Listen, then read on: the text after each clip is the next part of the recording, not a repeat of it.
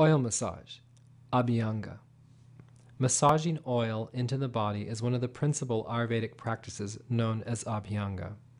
Since our skin is our largest organ, it will receive warm oil as both energizing and nourishing when massaged in through loving and conscious touch. By comparison, most lotions often remain sitting on our skin, but oil will eventually be absorbed more thoroughly. Abhyanga is a form of hydrating that can be of benefit throughout your ride and can be done as a daily practice, whether cycling or not. If you tend to have naturally oily skin or tend to get hot easily, using a light oil such as coconut or sunflower might be best. If you have dry skin or tend to cool easily, something more heating and emulsive like sesame oil would work. If you're uncertain about your skin type, then go with sunflower oil, which is suitable for most.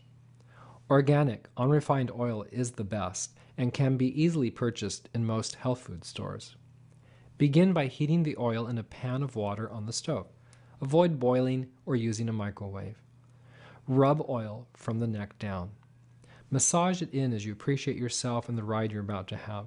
Include the whole body. Enjoy this time as a gift to yourself.